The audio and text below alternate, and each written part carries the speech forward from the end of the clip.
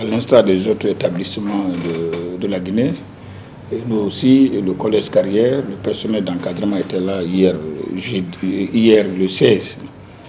À partir de 8 heures, nous étions là pour préparer, pour continuer les préparatifs pour cette entrée Comme vous le constatez déjà, la cour de l'école est nettoyée, les toilettes, vous voyez déjà les lettres directives venant de l'ISE, les périodiques, en tout cas l'emploi du temps général, l'emploi temps individuel, euh, tout est mis en place, tout est passé au peine fin pour que vraiment le 25 nous accueillons massivement ces élèves et que les enseignants euh, commencent réellement les cours.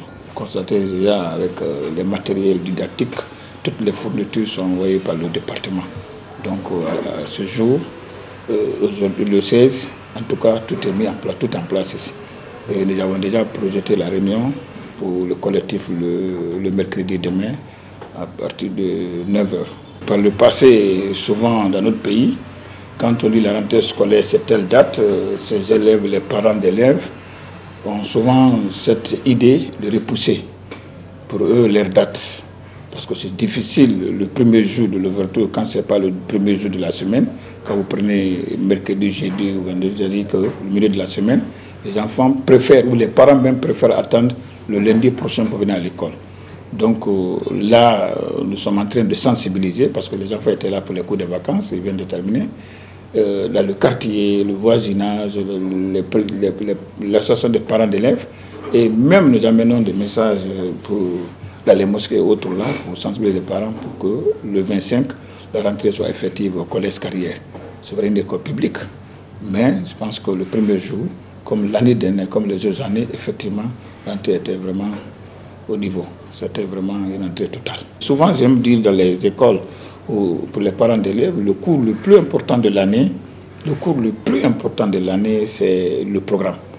Parce qu'un professeur qui va venir le premier jour, les élèves qui sont présents, il est obligé de détailler, d'expliquer le programme, de faire des prérequis d'abord, d'expliquer ce qui s'est passé, il fait des rappels, après il attaque le programme, après il fait son introduction, fait son premier cours. Et là, si un enfant rate le programme détaillé, parce que le professeur va examiner, va un peu essayer de, en tout cas, euh, disons, d'étiqueter ou bien de mettre en place ce programme-là de fond en comble, et un bon élève, au début d'année, il peut réellement avoir une idée sur son programme et comment se préparer. Et même la bibliographie, la documentation, c'est ce jour-là qui va tout indiquer. Et vraiment, nous appelons tout le monde de venir le premier jour, le 25, il y aura une entrée effective. Dans la gestion d'un établissement, tout n'est pas rose. Parce que si vous avez 1000 élèves, vous avez 1000 éducations, vous avez 1000 têtes. 1000 têtes et 1000 éducations. Chaque enfant est ambassadeur de sa famille généralement, comme on le dit. Et dans la gestion au sein de l'établissement, il peut y avoir assez de difficultés. Et c'est à nous, les responsables, d'inculquer non seulement l'enseignement, l'instruction, mais aussi de faire, d'apporter une dose d'éducation pour compléter ce que les parents font à la maison. Et nous ici, nous prenons ce qu'on appelle, nous avons des documents qu'on appelle le cahier qu'on appelle le cahier de conduite. Et si un enfant est fiché dans ce cas-là, une fois, deux fois, surtout quand on t'envoie à la direction des d'impolitesse, plus de trois fois en fin d'année, vraiment on préfère se, en tout cas se débarrasser de toi. En te donnant, on appelle tes parents, on vous remet à les livrer. Voilà, je peux constater au niveau des murs, il y a 32 élèves qui sont renvoyés pour cette année, 2023-2024. Les cas sont avérés, c'est tout indiqué sur le procès verbal conseil de discipline. C'est le conseil de discipline qui a décidé. C'est vrai, je préside le conseil de discipline, mais il y a aussi d'autres membres qui vont venir et nous allons prendre la décision ensemble. C'est pourquoi c'est mentionné dans le PV de réunion. Vous savez, dans notre pays, la date d'ouverture, souvent c'est un communiqué qu'on fait. Ce n'est pas comme dans les autres pays, en France, autres là, où il y a une date indiquée pour chaque année. C'est même légal, c'est même institutionnalisé maintenant. En France, par exemple, c'est le premier lundi du mois de septembre. C'est pourquoi le 2 septembre passé, il y a eu l'ouverture des classes pour la France, pour les pays qui ont le programme français. Chez nous, il n'y a pas euh, cette mesure-là. Mais quand un parent d'élève doit savoir qu'à partir du mois de juin, juillet, il est en congé, il peut maintenant se mettre à se préparer Parce qu'aujourd'hui, l'argument qu'ils vont venir poser, ah, j'ai pas eu de tenue, j'ai pas eu de cahier, j'ai pas eu de sac, j'ai pas eu de chaussures. Qu'est-ce qu'il faut faire?